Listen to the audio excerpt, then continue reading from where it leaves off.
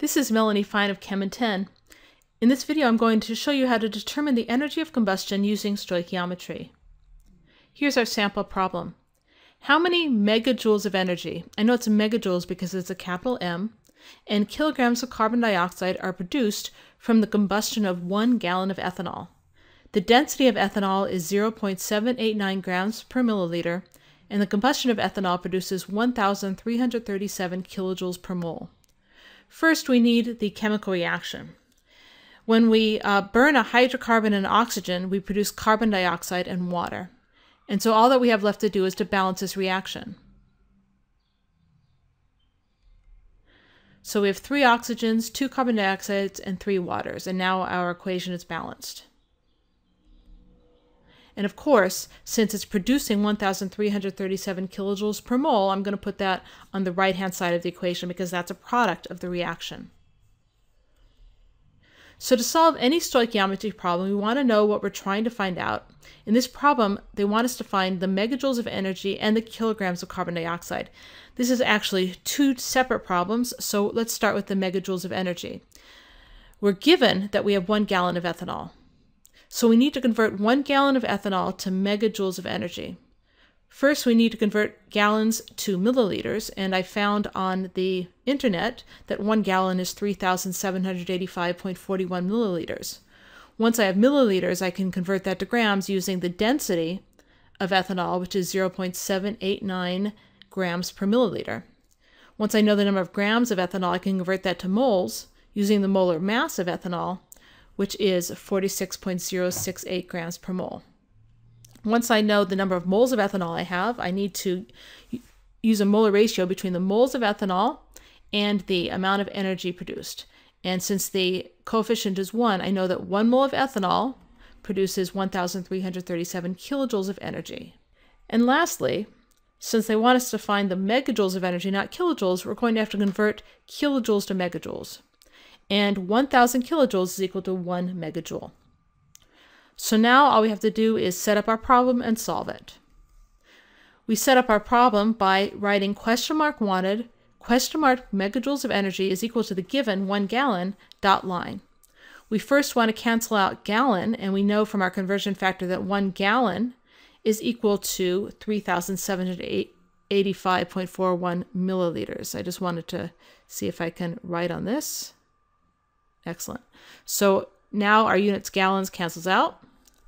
Then we want to convert milliliters to grams, and we can do that using the conversion factor that one milliliter of ethanol is equal to 0.789 grams of ethanol. That's from its density. And notice we set it up so that we cancel out our previous unit.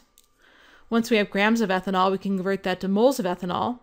And we're going to put the grams of ethanol, the 46.068 grams of ethanol per one mole of ethanol, ethanol in the denominator, and grams of ethanol cancel out. Notice only the units are canceling out, not the numbers themselves. To convert moles of ethanol to energy, I know that for every one mole of ethanol, I produce 1,337 kilojoules of energy, so moles cancels out. And then to convert kilojoules to megajoules, I'm going to set that up so that I put 1000 kilojoules in the denominator is equal to 1 megajoule. We multiply our numerators together and divide by our denominators, and we get 86.68 megajoules of energy. We also wanted to find out how many kilograms of carbon dioxide would be produced. So we can set this whole problem up again, but this time solve for kilograms of carbon dioxide. To do so, we need the following conversion factors. We still need to go from gallon to milliliters. And we need to go from milliliters to grams, which is the density of ethanol. Once we have the grams of ethanol, we need to go from grams of ethanol to moles of ethanol, and that's the molar mass of ethanol. And once we have moles of ethanol, we need to figure out how many moles of carbon dioxide are produced from moles of ethanol. So from our balanced equation, we see that we have one mole of ethanol producing two moles of carbon dioxide. And once we convert to moles of carbon dioxide, we need the molar mass of carbon dioxide. And one mole of carbon dioxide has a molar mass of 44.01 grams per, grams per mole. And then finally, once we have grams of carbon dioxide, they want the answer in kilograms. And we need to know that 1,000 grams makes one kilogram.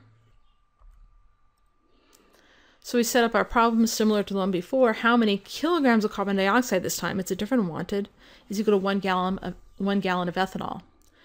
We put gallon of ethanol in the denominator to cancel out the units of gallons, which is equal to 3,785.41 milliliters. So we'll cancel out gallons. We're going to convert milliliters to grams using the density of ethanol. Ethanol is a density of 0.789 grams per milliliter.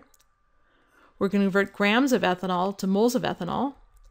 We know that ethanol has a molar mass of 46.068 grams. We put molar mass, the grams, in the denominator, so it cancels out grams of ethanol in the numerator. We're going to convert moles of ethanol to moles of carbon dioxide, and we know for every one mole of ethanol, we make two moles of carbon dioxide. Once we have moles of carbon dioxide, we can convert that to grams of carbon dioxide by multiplying by the molar mass of carbon dioxide, which is 44.01 grams per mole, and the moles cancel out. And finally, now that we have grams, we have to convert that to kilograms. So we're going to divide that by 1,000 grams is equal to 1 kilogram.